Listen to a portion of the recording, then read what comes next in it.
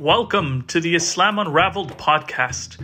We greet you with the traditional Muslim greeting of peace and blessings. Assalamu alaikum.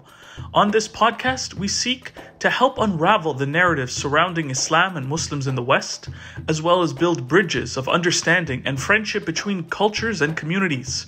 We acknowledge that our podcast is recorded on the traditional unceded territory of the First Nation peoples of BC. On this podcast, we encourage open discussion, and therefore the views expressed by our guests do not necessarily represent the views of Islam Unraveled. To support the work we're doing, please send your donations to finances at ihsan.ca. That's finances at ihsan.ca. Well, thank you so much, uh, uh, Councillor. And uh, this is uh, Councillor Christine Boyle of the City Council of Vancouver, the most beautiful city and the greatest city in Canada and the world, in my opinion. So thank you for for joining us. And and I wanted to to as we talked earlier before we started the interview, that uh, last I saw you was at the Vancouver Al Jamia Mosque uh, last year when you brought the proclamation from the city of Vancouver to commemorate uh, January 29th as, as, as a day of a memorial for the the the uh, attacks at the Quebec City Mosque. So we we want to thank you again uh, on behalf of the City Council for for that proclamation uh, from the mayor and the council. So thank you again, and please, if you wouldn't mind just talking about it, how all of that came together.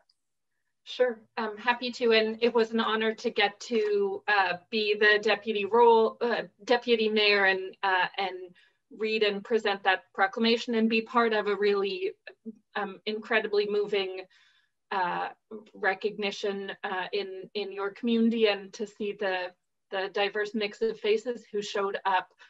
Um, and I'm always um, very happy to get to be inside the Al Jamia Mosque and be part of the uh, prayers and community that happen there. Um, so the, I'm sure you could say uh, um, more. The proclamation came about through a motion to City Council, uh, and um, that motion was in line with calls across the country to formally recognize uh, uh, this date as a date of remembrance and recognition of Islamophobia um, and, uh, and specific to uh, one terrible incident, of course, but, but also I think in recognition of the, the presence of Islamophobia uh, in day-to-day -day lives in cities and communities across the country that we can and should continue to uh, name and address in a whole myriad of ways. And that's certainly a commitment for me, a commitment for council, uh, for a lot of folks across the city. And so uh, it was an honor to get to present that uh, proclamation um, and also to get to do this work in an ongoing way with you and, um, and your uh, listeners and followers and others across the city. Thank you, Christine. Thank you so much for that. And and and you know, based on the relationship we've had with the city council, the city of Vancouver, and the mayor, and and previous administrations, there's been a lot of support for um, uh, just inclusivity and and fostering a sense of a community and equality and inclusivity, which uh, I, personally speaking for myself, I felt uh, great support and and the Al Jamia Mosque and and the Muslim community of Vancouver has always felt great support from the city.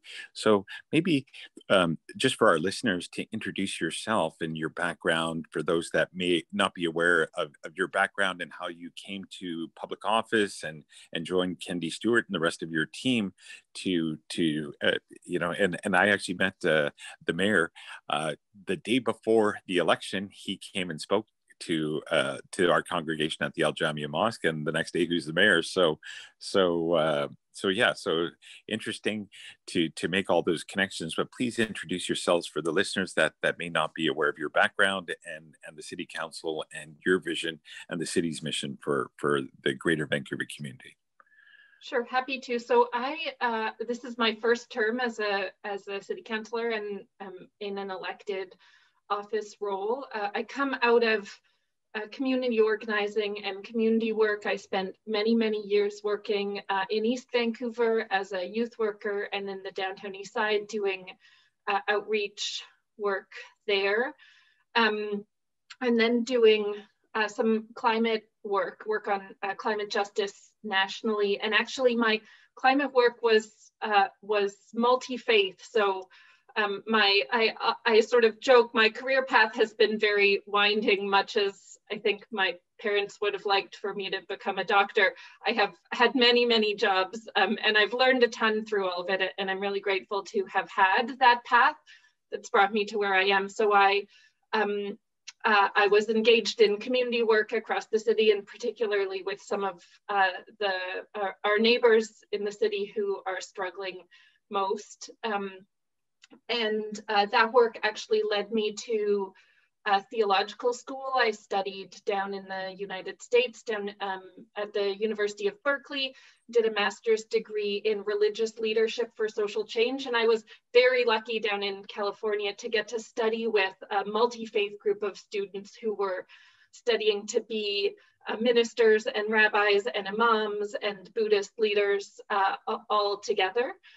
Um, and then I came back to Vancouver. I, uh, I was ordained into the United Church of Canada as a minister, and I was working part time um, at the Canadian Memorial United Church in Vancouver, and also doing national multi faith climate work, helping faith communities look at their existing buildings and figure out how to make them uh, greener and more energy efficient in uh, buildings across the country and at the same time was was involved in local issues, continued to be involved in the kind of uh, justice and housing uh, and inequality issues that I have been involved in for years in Vancouver. And that led me to being uh, asked by a number of people to run for council with a, a municipal party I've been involved in called One City Vancouver. Uh, and so I ran for office one to city elected myself and Jennifer Reddy uh, to the school board. And um, this council, as folks may or may not know, um, doesn't have a majority from any one party. So I've been working with my colleagues from uh, other parties and with the mayor, who is an independent on all sorts of important issues. And I think for the most part, we as a council, uh, as you said, really share a commitment to addressing racism um, uh, and creating a more welcoming community for everyone. And sometimes the way we think that should be done looks a bit different or the level of urgency we feel on it, but it is a shared commitment across the council and we've been able to move the needle in a number of ways because of that commitment. Absolutely. I, I agree with you uh, 100% about uh, the city's commitment to inclusivity. I've seen it uh, time and time again. Now, you, we talked about racism, and, uh, and obviously, we have a multi uh, racial, multi religious community. And First Nations, uh, the Black community, um, uh, the Muslim community, and, and, and many others. And, and just as you've done a lot of work uh, with, with other faith based groups, uh, as well as I have, and what was interesting, at least in, in the work that uh, that that that I had done in, in a faith based way uh, with with other uh, communities was we found that uh, every group felt that they were the ones that were, um, I would say, discriminated against. Uh, so every everyone felt that that the prejudice uh, was directed mainly towards them per se, and I and I would meet a lot of the groups and I'd be like, you guys seem pretty mainstream to me but but it seems like there's a psychology a human psychology where where maybe the other and so part of uh, you know even especially during the pandemic we're not able to meet in person as communities to break bread and and really when people from other races and religious religions get together and meet and get to know one another uh, because we live in such a multicultural multiracial city there's a level of of of, of uh, brotherhood and sisterhood understanding and, and community belonging. But because of um, the internet and kind of algorithms that kind of silo people to certain belief sets so people's racial or religious identities are maybe reinforced and their beliefs about other groups are, are being reinforced by certain information that may not be accurate.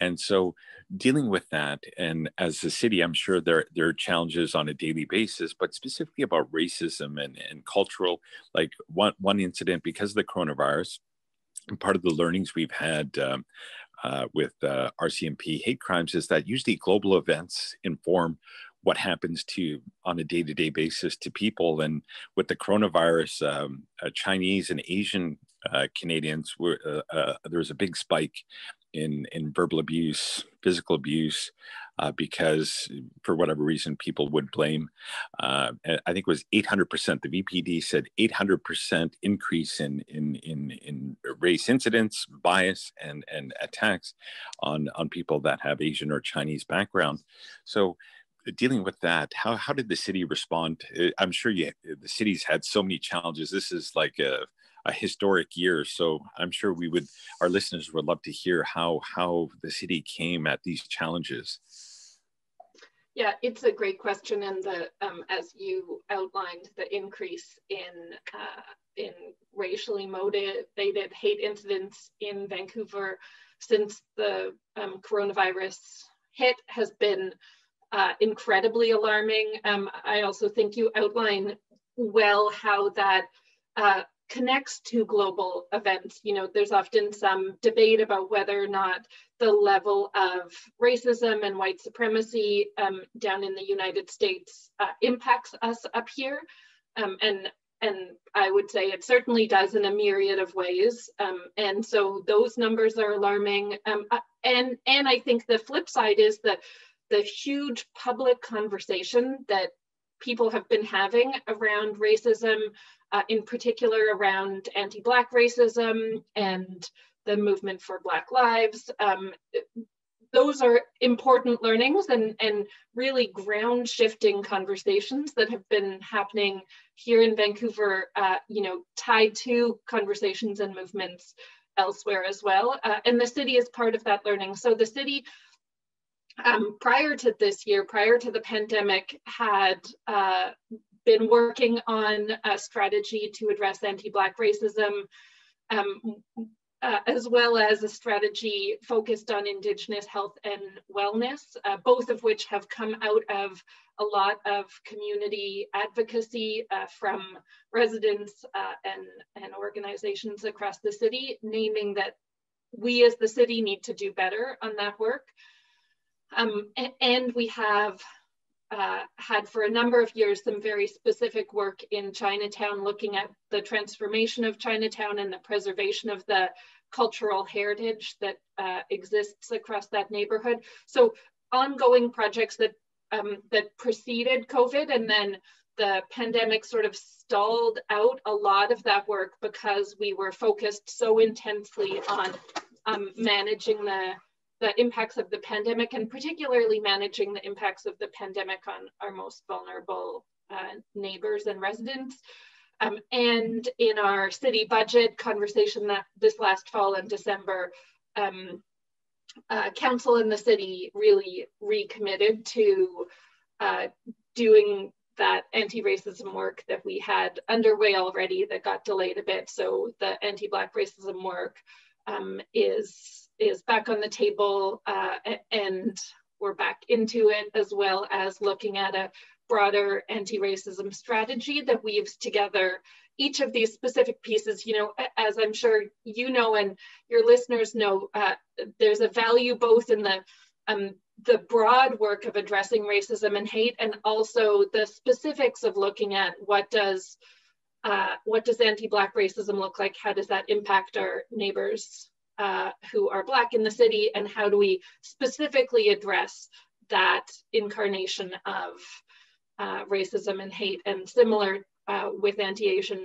racism. So we're trying to do both of those things, the high level pieces um, and the on the ground pieces. Um, and I, I just want to lift up, as you mentioned too, I think the work that communities are doing in building those bridges among themselves is really important. So I too have spent years uh, doing um, interfaith and multi-faith work in Vancouver and more broadly. And, um, and I see how important those bridges are to be built, the relationships um, and the breaking down of barriers so that folks see one another. There uh, a reminder I often find helpful is that it is hard to hate people up close. Uh, and so we should um, you know, not in a not in a time of social distancing, but otherwise we should invite one another in up close and hear those stories and see one another better, and and that that is the best uh, antidote to um, the kind of hate and despair that we see in other parts of the world and that we know exist here too. So I've been uh, delighted to have been able to do that multi-faith work. I, uh, I will say I miss it. Um, in fact, it's how uh, years ago, Haroon Khan and I were both on the board of the Interspiritual Center. Um, and so that was my first interaction with the Al Jamia Mosque was uh, in those relationships and they have continued over the years and it's been great to see all of the work um, around homelessness, around uh, providing food that the community has done. So amplifying those stories, bringing people together, I think that's the community piece of the work. And then we as the city are doing um, some systemic work uh, at the city level and the province is certainly engaged as well. And everybody doing their part, I think, is what this urgent moment requires. Agreed, agreed. And uh, as you know, with Haroon and Al Jamia Mosque and, and the rest of our team, uh, Al Jamia uh, Vancouver has been uh, at the forefront uh, to to really reach out and and with Islam Unraveled, which is the outreach uh, uh to other communities. Um, I will say. Um, uh, after what happened in Quebec City, uh, the outpouring of people from Vancouver that came to the mosque of their own, like they came with candles, with with flowers, with cards, tears in their eyes. I, I, was moved. I was emotionally moved. Really, it was a life changing experience for me that I, I, I really, mm-hmm. really, how people care just about their fellow human beings, uh, regardless of race or religion, was was an impactful event uh, specifically on me. Um, I can't speak for anybody else, but I was I was very moved. And then at the Jack Poole Plaza, there's a, a larger uh, memorial where, where thousands of people, and it was a blizzard. There was like snow. It was cold. Uh, yet people came just for for a couple three hours really making their time to to to come out. And i thought what a great city. What a what an amazing uh, set of values that that and it was across every race and religion. So we we had rabbis come we had ministers come we had congregation we had non-religious people come. And it was it was amazing. And and what what what it kind of brought to mind was our our uh, Vancouver values and the city of Vancouver, like moving forward, like issues about homelessness and addiction, and part of um, uh, what we as a Muslim community uh, all came together uh, to establish the Muslim Care Center. And it was many team members from many mosques, many Islamic organizations to do public work uh, that's identifiable, identifiable that Muslims are actually out in vulnerable communities like the downtown east side and we're our locations on main and hastings. And uh, seven days a week throughout the pandemic we've been uh, giving food.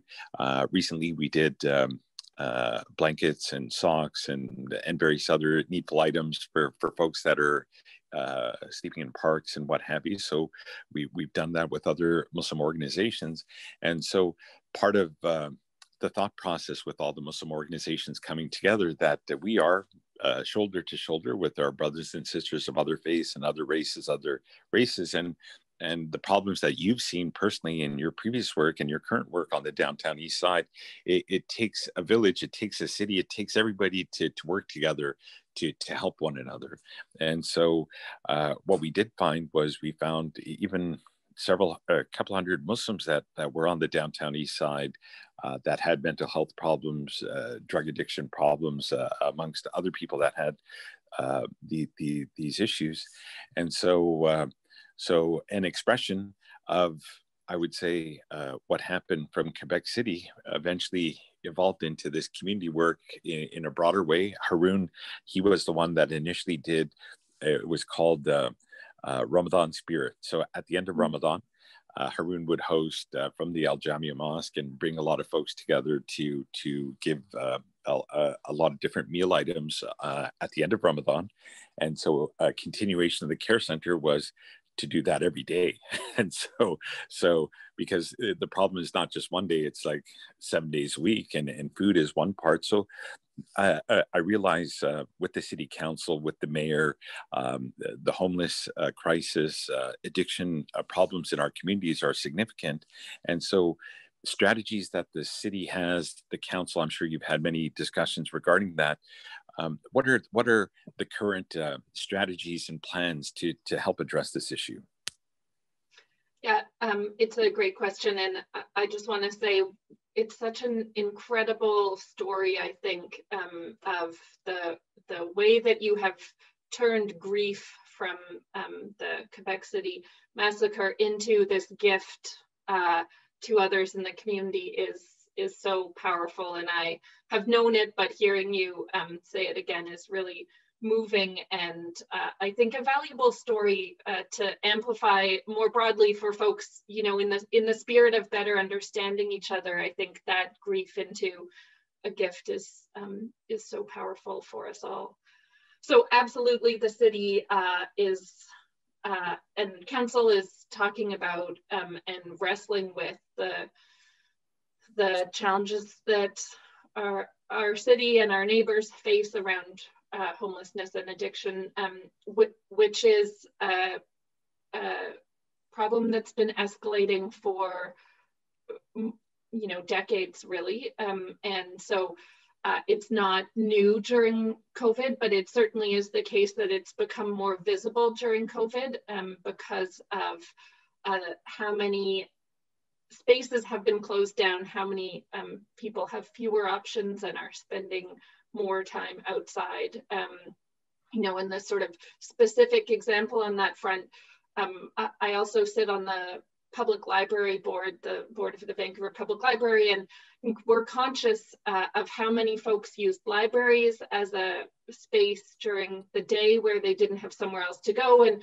used library washrooms um, as public washrooms where they didn't have other washrooms to access. And when libraries were closed during the early parts of the pandemic, those folks lost uh, that space. And so we did see more people out in streets and parks um, more people who had nowhere uh, to use a washroom with dignity. And so we're having to use um, bushes and outdoor spaces. And, um, and I, I, mean, that that's a horrible situation for anyone to be in, to not have a place uh, where they can, um, uh, can use a washroom. So I think it both um, it made more visible to a lot of our residents the uh, the poverty that exists in the city, the inequality that exists. Um, it also made more visible the huge role that those public institutions like libraries, like our community centers and other public services play um, in this city.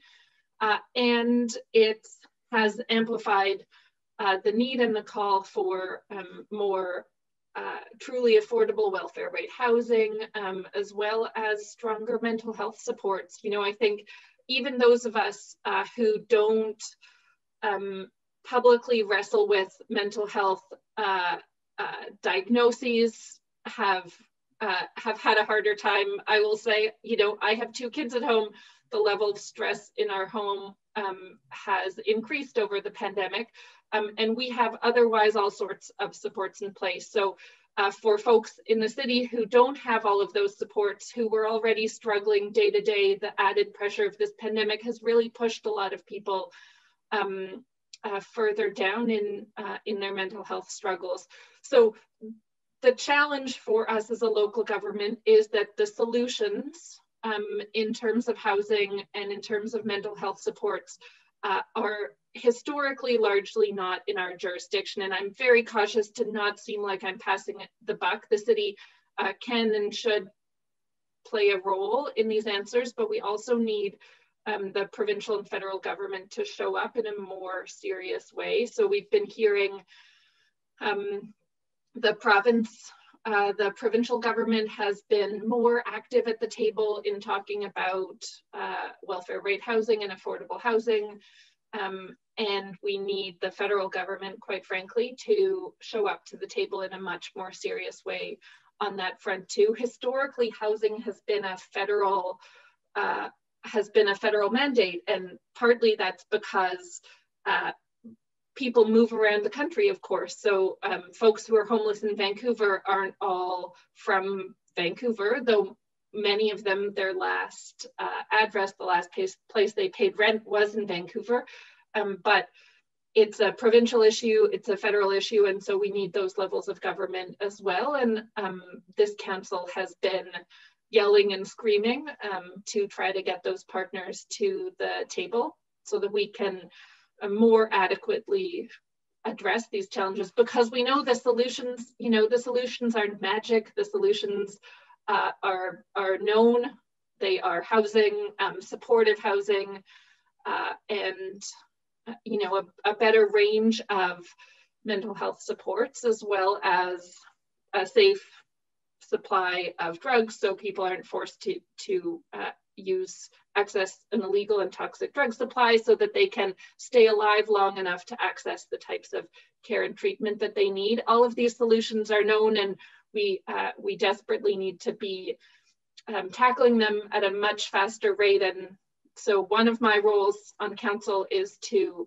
uh, advocate on all of those fronts, and another role is to uh, keep acting in terms of what the city can do. This council um, recently put $30 million dollars into uh, immediate housing solutions, and uh, we've been working on rolling those out as quickly as we can with the you know, practical logistics of getting buildings in place, whatnot, but we wanted to say, this is how seriously we're taking this and we need uh, our senior government partners to, uh, to step up as well. So, um, so all of that uh, is actively underway and also needs to be done, you know, a hundred times more and a hundred times faster. And, uh, and that's what I sit with and wrestle with and lose sleep over every single day. And and and I commend you and and the team of the city council and the mayor for for the focus and dedication because it's a multi-pronged initiative and it requires the province and the federal government uh, as a team. It, eh, the resources have to come, but the city does allocate resources, and so we were um, last week we were giving. Uh, on the park on Venables, I forget the name of it, where uh, the tenants. Strathcona, Strathcona Park. Strathcona so we were there and, I, and and then i was like i think i read in the newspaper or, or on an online article the city actually works to try and provide housing like like there is housing. So why would some people like i know in a previous discussion i had with with other members of, of city council years ago they were saying that sometimes there are certain issues that people have pets or they have uh, certain mental health issues for whatever reason or they have other companions that uh, what are the what are the barriers between folks uh, that choose to remain in tents uh, to to not avail of some of the the housing the city is trying to provide? Um, what are those barriers? That's a great question. Um, as you'd expect, there are a whole range of them. So uh, sometimes the barriers are the housing that we can make available isn't um, doesn't feel to people like a better option, and uh, so uh, portion of the shelter rate truly affordable housing in the city is single room occupancy hotels. Um, sometimes they're they're publicly run or they're run by nonprofits. Um, sometimes they're privately run. Uh, the conditions of some of those hotels are uh, pretty deplorable. Um, the the rooms don't lock, the washrooms uh, are plugged and don't work. The other residents in the building uh, may be wrestling with their own demons and be uh, be loud in their rooms with very thin walls. Um, there are uh, there are often bed bugs or other uh, rodents. Some of these buildings um, are uh, are very inhumane. Um, and and I will say that a decade ago that I was working uh, in the downtown east side, I visited uh, many people in many SRO hotels, um, and it was uh, it was not an acceptable living standard um, that some of these uh, hotels operate in. So I think there are certainly folks living in tents in our parks who have lived in SROs, um, and uh, and would rather live in a tent than go back to one of those rooms, um, particularly in the, the summer months in Vancouver. You know, I'll add the other, one of the other things I hear about the SRO rooms is just how cold they get in the winter because of draftiness and the lack of heat and how stiflingly stuffy and hot they get in the summer. So also for folks with um, any kind of chronic health issues, they can be um, they can be quite unhealthy places to be. So people choose may choose tents for that reason. Like you said, uh, often people with pets who are a you know a, a pretty key part of their support uh, system uh, may not be allowed into these buildings. Um, often uh, rooms, a private room with a door isn't even available. And so the housing options that are available, unfortunately, are simply shelter beds in congregate settings. So a shelter bed in a, in a large shelter. And again, um, even outside of the pandemic, for a lot of people uh, with uh, you know, past trauma they're trying to heal um, with mental health struggles. That's not a preferable or a safe option. Um, and then the reality of the pandemic has meant that uh, people have concerns about being in group settings like that because of COVID. Um, and also uh, the number of beds has been decreased because they've been spaced out over those shelters. Um, so it is the case that uh, there are a number of buildings that are SROs uh, run by nonprofits uh, or the city that are in good shape, but they're full because we don't have enough of those beds. Um, there are people who choose shelters and lately our shelter beds have been full too because we have fewer of them because of COVID restrictions. Um, and so, so sometimes people have another choice and they're choosing to stay in a tent and sometimes they don't have another choice because, you know, the choice is not viable for them or it's just not there because um, there aren't enough uh, there aren't enough units there aren't enough beds. And so uh, all of those are the struggle we are um, uh, have been looking at how we better uphold standards of maintenance to make sure that existing SRO rooms are uh, up to a certain you know acceptable and healthy standard. Um, and the city uh, it's been in the news over the last couple of years. The city expropriated a couple SRO buildings that were so dangerous and decrepit that they um, could were not habitable anymore. Uh, and so now we're in the process of figuring out with the province how we uh, repair or or hopefully tear down and rebuild those buildings uh, to replace those units, but in um, a much more supportive and livable way.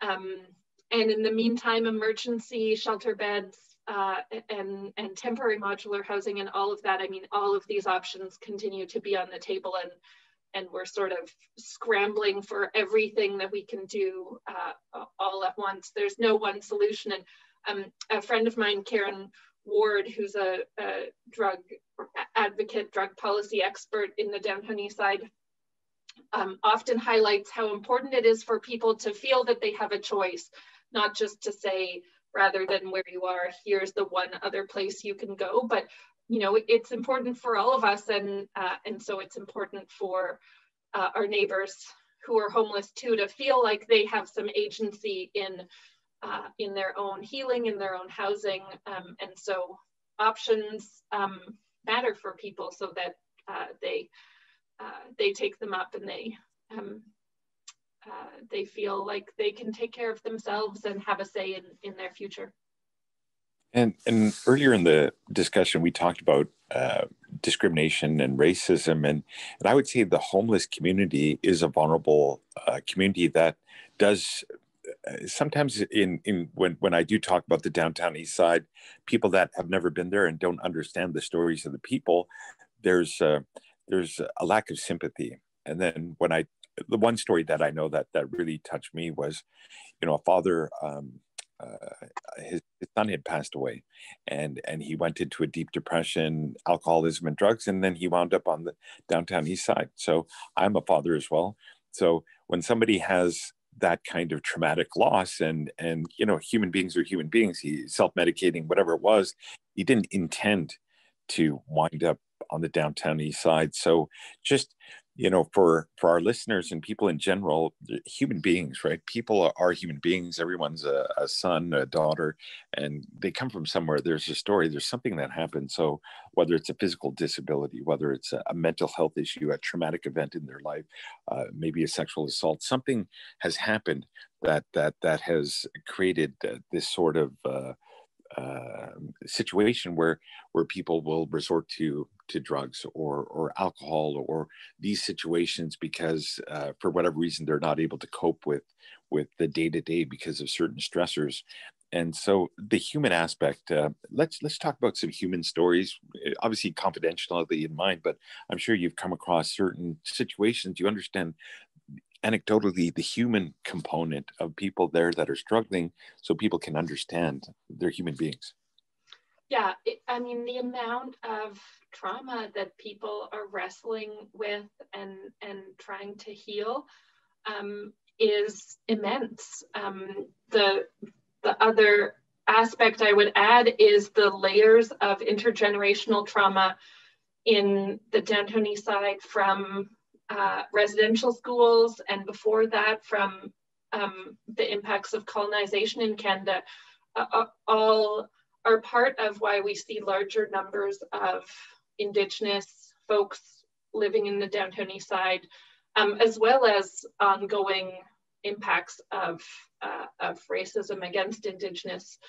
communities. Um, uh, yeah, I think it's so important. And actually, just listening to you speak to that makes me think back to our conversation 20 minutes ago about the value um, in interfaith work of bringing people together across bridges to hear one another's stories. And it is uh, the reality in Vancouver that we have um, huge amounts of wealth and we have huge amounts of poverty. And, uh, and I think you're right that for a lot of residents across the city.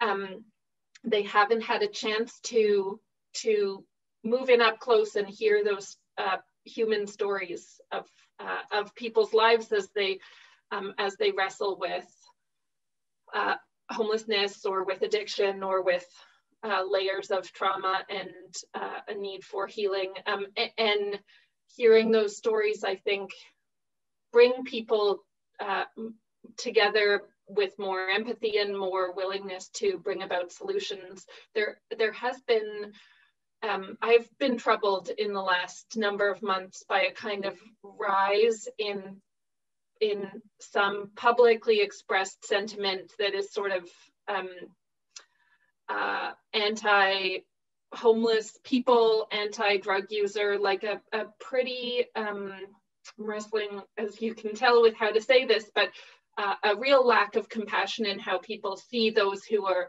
so visibly struggling in our neighborhoods. Um, and uh, we have work to do on that front because um, that stigma uh, makes the situation worse for everyone. Um, and it certainly makes it harder to bring about uh, the solutions that we need, including, you know, we can't just build affordable housing, more affordable housing in the downtown east side.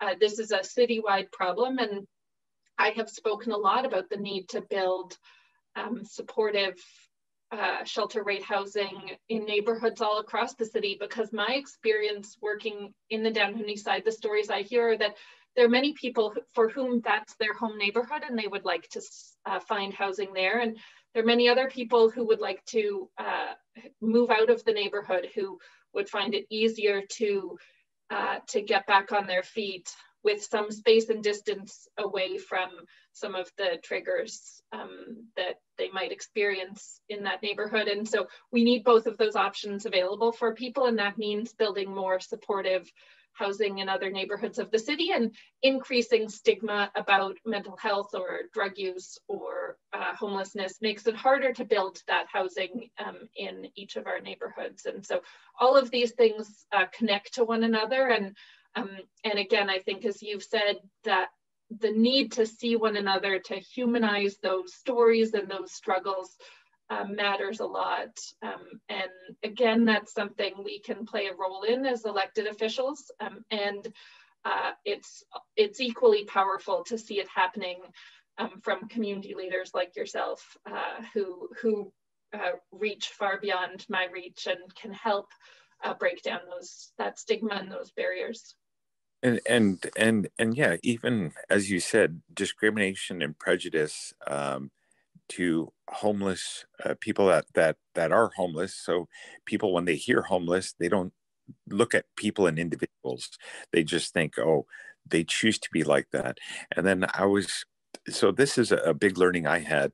Some people think when somebody's addicted to drugs and alcohol, uh, it's their choice. And I was like, once somebody's addicted, it is a mental health issue. It, it's not like you have a choice when you're addicted. And so I've had these uh, debates with certain people that, again, have a, a certain bias because they don't know the ramifications. Again, nobody intends to become an addict or nobody intends to become homeless, but addicts become discriminated against and uh, homeless becomes discriminated against because people don't know the context of what happened that individual story and there's a lack of sympathy because people don't know those stories. And and when the city does provide these things for the safety of the people which is safe injection sites uh, needle exchange all these sorts of things there's a, a tendency from people to think oh why is the city uh, you know doing that? They're they're exacerbating the problem but that's they're trying to provide the safety of the people because if it's not done and and this was uh, i was at uh, uh, it was an interfaith leaders group uh, to talk about homelessness. So there there was a lot of statistics that if the city doesn't help that one individual the cost to society the actual dollar cost to the society is much more than if the city didn't invest in trying to help the people. So left unchecked left left to go as is without providing those helps just the economic impact is manifold by not actually helping whereas the city's actually saving the society from much bigger costs by by addressing these issues. So i know we've unpacked a number of of kind of things here but but please do like just just from that addiction standpoint the stigma of addiction and then the economic cost. Yeah the studies that have been done on the economic impact, I think, um, are fascinating. And I appreciate how those, you, you, know, each of us are swayed a bit differently by different arguments. And so um, for those for whom that is a compelling case, I'm glad to have those uh, numbers. And as you say, it is um, very clearly the case that it would be more fiscally responsible. Um, uh, it, it, would it would cost less for us to house people and provide the health supports that they require um, than our current patchwork system, which relies very heavily on um, uh, on policing, um, on emergency room use, and a, a kind of uh, rather than preventative healthcare and supports uh, an emergency healthcare response. Um, the way that we are responding to these crises is uh, is makes no sense if the goal is fiscal responsibility. We really should be um, supporting uh, people more proactively in uh, all of the ways that they need. Um, and I will say, you know, well, as I said, I find that compelling as a um, as a person of faith. The the moral argument for me is um, is what pulls at me, which is that of course uh, each of our neighbors. Each other human deserves the chance to uh, live and stay alive for as long uh, as they need to find healing and wellness and uh, and and get back on their feet, as they say. So um, that's the pull for me to uh, harm reduction, um, to supporting overdose prevention sites, um, uh, as well to advocating for safe supply and a decriminalization of drugs. We we see that the systems we have set up right now are failing people, both in terms of the overcriminalization that leads people into this um, spiral of the justice system and further uh, addiction and struggle. Um, it's also failing people because the drug supply right now is so toxic that people uh, people are dying um, just trying to self-medicate, just trying to meet this habit where they they don't need to die um, if there were clean drugs uh, available. Um, and if we weren't so set on in a kind of moral way punishing the use of certain drugs um, then they could uh, access what is what is for many people as you said a form of self-medication for trauma um, they could access a, a, clean enough drug that they weren't at risk of dying um, and keep doing so until uh, they found other supports as well to um, uh, to patchwork their own healing and, and for us to provide a better uh, system of support. You know, there are lots of drugs in our culture that we have legalized um, and condone. Uh, and um, I have no doubt that if there were a poisoned, uh, you know, batch of beer out there, that there would be a, a strong response um, in by government, by health authorities. Uh, but we have, as as part of a kind of othering and distance, decided that some drugs are are morally bad, um, and uh, we haven't responded adequately um, because of that to care for the folks who are literally dying um, in the thousands uh, because of that. So, I mean, that's all of these um, all of these avenues into support for uh, housing and safe supply matter, and I um, and I uh, am hopeful that more and more people get to that place of support. And for me, that's the piece that is most compelling is just the dignity, uh, the dignity and worth of every human being, uh, and that includes human beings who uh, who use drugs. That includes humans who have, uh, you know, have more visible demons and and mental health issues. Um, each of those lives uh, is important, and and I think we should be doing all we can to make sure that they stay alive and receive the supports that they need to live a kind of whole and um, healthy life and and uh, agreed and that's my I, preaching sorry that's sort of not my yeah. less my politician had and more my minister had. i couldn't well I, I, I, I think we we have our um, our our respective kind of heartfelt desire to help our community. And I'll, I'll share with you one story uh, uh, one of our one of our community um, again he was addicted uh, to opioids and he was on the downtown east side um, uh, shooting up.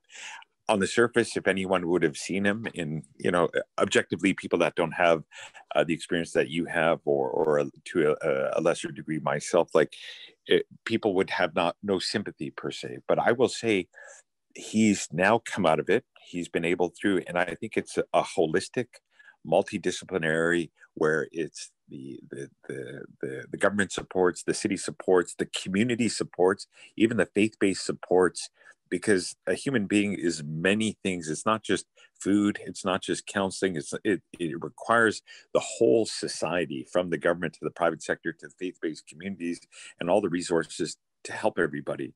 So this individual uh, again, deep in addiction, family problems, uh, lost his job, lost lost his home, and uh, and then you know through the 12 step program, AA, NA, and community help, and now he's an advocate going out. So he he basically re- he, he was somebody on the downtown east side. Maybe people could drive by and have some sort of you know whatever prejudicial thought about this person, but I have so much respect for him because not only is he recovered, but he's now going to find others that that are that are in addiction to help them join the the 12 step program and and and and just a lot of respect that that although he he he fell down, but he's now through the collective work of what he's doing, the community support, uh, getting back on his feet and contributing to society. And I would say uh, a lot of the people down downtown you know some are, are very educated some have multiple talents and, and abilities that, that people are unaware of. It's just like prejudice and racial discrimination sees a color in a religion and makes uh, a judgment. And the term homeless or addict evokes another judgment that people have. But again human beings are human beings. Until you get to know understand the people meet the people that's what's going to create a level of desire within all of us to say, hey, you know what? We have to help everybody from every facet of society. And that's my soapbox, like, because I've seen it work on that one individual how all these supports came and and now he in my view is is is is, is someone uh, I hold in great respect uh, for for what he's been able to accomplish from where he went, and I think there's many people like that. But if we don't help, or if we just ignore it, or we criticize, it's it's it's not going to solve anything. And and and really, uh, the power of human beings is powerful. With the right holistic support, some some of those some of the people can be even much better contributors to society than, than we are and yeah, so that's what- I mean, I, I will here's uh, uh, allow me to be just a tiny bit theological also, which is like it gets to. I have such a deep belief in um, in the possible redemption of everyone, like that every single person has um, within them an incredible amount of worth and wisdom that uh, that we can and should find a way to lift up and support not just that some people um, might be able to recover, but that um, were we to create the kinds of systems that uh, that are possible and that people deserve, that that every single person has that in them. And as you highlight so um, well in your example, that that all of us have a, a an incredible amount to learn from um, people who use drugs, from people who are homeless or have been homeless. Um, and all of those voices should be a more central part of, for, for policymakers and decision makers like me, should be at the table and should be, um, should be informing the types of decisions that we make because uh, they know what will work and they know what that struggle looks like in the deep depths of it. And those lived experiences should be uh, informing how we uh, how we respond. And I think governments have been doing a better job um, of seeking out those voices and healthcare systems as well. But there's still a ways to go because the kind of gap between who's in leadership positions and who knows on the ground these uh, these struggles most acutely um, it is still a gap. And so um, the the story you lift up is so important in the um, the role that folks uh, with with these lived experiences play in helping the rest of us both better understand the specifics of the situation and kind of find more of our own humanity in the story and humanity of uh, of someone that we might have written off. Um, so and, just uh, yeah, really grateful for that story. And every time I get to um, hear stories uh, hear stories like that and and and even this form in, in our discussion with you be, being able to express uh, your work that you've been doing prior to being in office being in office i think uh, even in our community to hear from you because you are a policymaker you are a decision maker you are in government and so um, you know this this type of forum to to understand what the city is doing and what what individuals like yourself in a leadership role have this uh, this mission as well to to to help the greater good. So. Um, with our audience in the Muslim community, uh, uh, for this dialogue to to be able to at least uh, let our community know the city's working with us um, about Islamophobia and and these items, but also these other greater societal issues. And, and i'm sure there's many other topics we could discuss but limiting it to to, to kind of where, where we're talking about uh, racism, discrimination as it applies to, again, faith or religion or race, but also as it applies to vulnerable people that have mental health, addiction, and homeless, which are discriminated against. And we are collective brothers and sisters in humanity, uh, different faiths, different beliefs, but but again, we're we we have we have this desire to help our community. If we help our community, we help our families. That it's just we protect others, we but and we respect our we we protect our families and we protect ourselves. So it's it's a, it, it really almost is a way of our own internal um, kind of uh, sense that I am contributing to society, but by helping others is actually even helping myself. So it's almost self-serving to a degree. But uh, but just to wrap up our discussion, um, uh, I, I, want to thank you again and the city for the proclamation to join us at this coming event on January 29th, um, just to remember uh, members of our community that were in Quebec City that were killed because they they were Muslims and uh, they were praying, right? So again, prayer in, in all our faith, praying to God uh, for the various reasons we pray. Um, and in this memorial is just to, again, showcase uh, leaders like yourself. We have the Defense Minister, Harjit Sajjan, who's going to speak, um, the Minister of Inclusivity and Diversity, Bardish Chagger. Um, uh, the VPD hate crimes, uh, RCMP hate crimes, uh, the parliamentary secretary, um, Rachna Singh um, uh, on anti-racism. So we have multiple speakers, Haroon and uh, Mufti Asim and uh, Jima, a lot of our community members. And, and again, this collective work, Islam Unraveled, the Muslim Care Center, there's so many people in our team that, that do much more than I do. I'm just grateful to be part of the team and grateful that I'm at least uh, a voice to communicate with government, uh, with yourself, to to share our respective stories and our respective work together, and, and looking forward to continuing our work beyond what's already happened, and hopefully uh, tomorrow and the day after. Uh, our societies and our cities get better and better with the collective work we're doing. And, and please do in closing any final comments for the Muslim community, for the listeners uh, from the city and yourself. Just a um, a huge and heartfelt uh, thank you for the um, the work that you do, um, for the work that the Muslim Care Center do, for all the um, volunteers. I know uh, all of this doesn't happen without kind of layers and layers of uh, volunteers and um, and mutual aid and support. It's really stood out to me during this pandemic um, I think a lesson we've all learned about how interconnected our lives are, um, how interdependent we are. And so uh, I, I am just full of gratitude for um, everything that you do um, and the spaces that you create and the bridges that you uh, built that help us um, all become um, more human and, and see more of our own humanity. So I'm glad for this conversation. I look forward to the day when we can sit in a room together and I would uh, welcome the opportunity to hear um, uh, from from more folks uh, in the congregation and uh, and in your um, many networks uh, to get to just listen and hear stories and get to better know people. Uh, seems like a, a, dream to me and I look forward to when we're allowed to do that again. And um, in the meantime grateful for this for this online conversation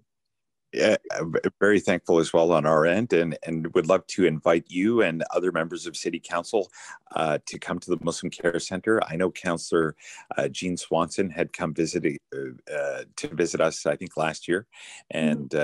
you know, with with some of our team like Sharina Khan and others that that do a lot of great work, we'd love to introduce you to the rest of the team uh, when uh, pandemic uh, hopefully uh, whenever the, the restrictions are lifted. And we'd be a great honor for you uh, and other members who would like to come to, to join us and meet the rest of our team.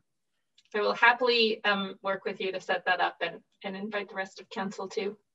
Thank you so much. Thank you very yeah. much. For- Thank you all. Nice to talk to you.